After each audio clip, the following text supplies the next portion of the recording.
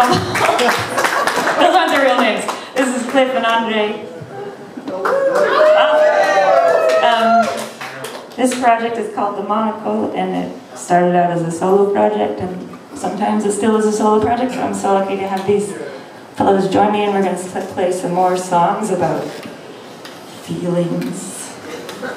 Uh, we went on the radio today, and someone, I don't know how it got started, but uh, I, I said to the DJ, like, oh, it's, the monocle music's not really party music, it's, it's more like feelings music, like you wouldn't want it at a crawfish boil. And Cliff said, no, it's like existential crawfish boil music. That's a good name for a Thank band. you all for being at our existential crawfish boil.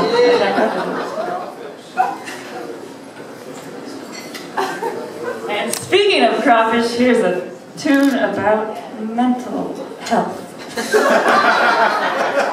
Little buggers really have crises.